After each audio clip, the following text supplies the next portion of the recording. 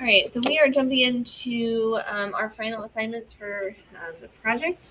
Um, so just like in Mrs. Othat's class, when you guys are doing different assignments um, that go along with uh, your poems and mentor texts, all that kind of stuff, we're going to do the same thing. Um, so what you're going to see is you're going to go into the Reading and Writing Explorers um, course here, and you click on your assignments. When you're in your assignments, you'll click on that final assignments for project. And inside here, you're going to see writing and reading. My stuff's obviously going to be into the reading. So when you click on this, there are three separate assignments. Um, and essentially what you're doing is you are going over those same um, learning objectives that we did before um, with authors' purpose, point of view, and perspective, and then comparing those. Um, and so you're going to see, and I'm going to show you each one um, as to what you are doing um, with them. So comparing poems. So it looks like this.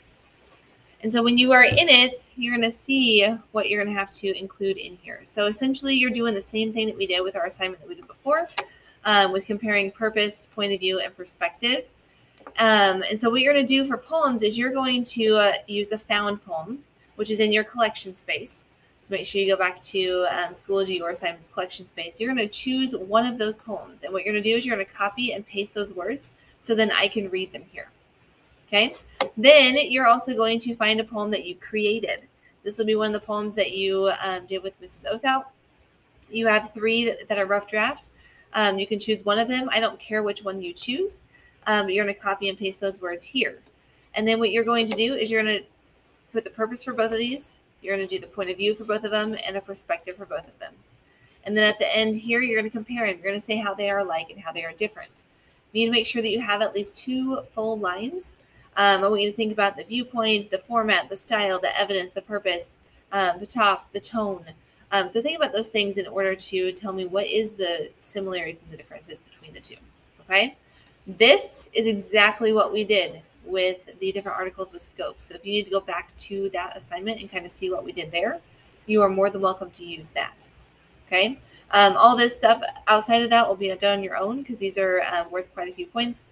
Um, this is going to be worth 20 altogether. The assignment's worth 10. And then underneath, you have reflections. Um, so here's the questions. You're going to make sure that you answer them. There's different things for you to think about um, to kind of help you with your response. Um, each of your responses for the, this should be three full lines. And then when you are done, you are going to eventually print it and you're going to turn it into me. I know that you're at home right now, but um, just know that when you are in class and one is done, you're going to print it and you're going to turn it into me. So then that way I can get you a grade. Okay, so that's your first assignment is you are comparing poems, one that you found versus one that you created.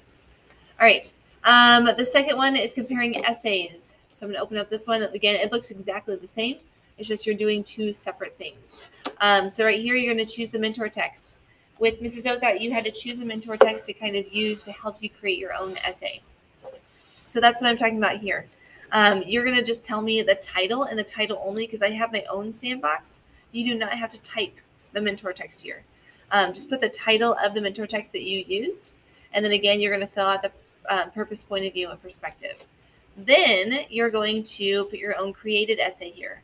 Um, it does not have to be the um, final draft. A rough draft is okay because you are the author. So if you just um, copy and paste your rough draft, that's fine. If it's really, really long, you can just copy and paste part of it.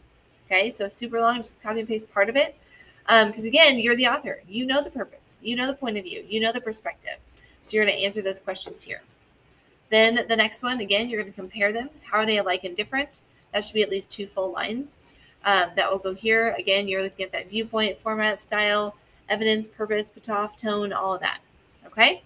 All right. Then when you are done, you're going to do the reflections again. So again, I'll have two separate um, questions for your reflection. There's things for you to think about that are going to help you. And you're going to delete the words here and type your response. These again should be three full lines of typed. And then uh, when you are done, you're going to print it and you're turn into me. Okay, so that's your second assignment.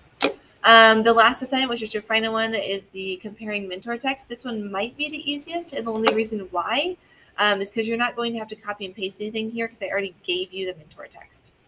Um, this one might be, um, I already said that, sorry.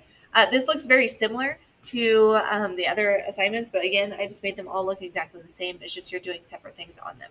So these are going to be in your sandbox. Use the information that you already have in your sandbox. Go back and look at them. Um, but this one again is going to be over Dear Basketball. You're going to tell me the purpose, point of view, perspective. Then you're also going to look at the one, it's so hard to say goodbye. That's the one about soccer. Again, you're going to put the purpose, point of view, perspective. And then you're going to compare. You're going to say how they are alike and different. Um, down here, you're going to make sure that you have at least two full lines. Again, thinking about those things is going to help you to create those two full lines. Okay? And then again, you have reflections. You have two different ones. You're going to answer those questions. Um, use what I'm telling you to think about to help you. Um, and then you're going to have three full lines on here. Okay? Three full lines. And then when you are done, you're going to print it and you're going to turn it into me. So you have three separate assignments. None of them are due today. Um, these are going to be due on the 9th and 10th of May. That's our hope. Um, same as Mrs. Othout's. So you're just going to have a lot of work time. Um, a lot of kids today, they were able to almost complete one. Um, I only had a few kids who were actually able to turn in one of these assignments. So if you don't get done with one today, do not stress. You're going to have all next week and Monday and Tuesday of the following week to get them done. So then that way you'll be 100% done. You'll have lots of time. And then that's kind of all we had today. All right. So again, in order to find these, you're going to go to Explorers Reading Writing course. You're going to go to your assignments, go to final assignments for project, and click on the reading folder. That's where you will find all three of them. All right. That's all I have for you. I'll see you later.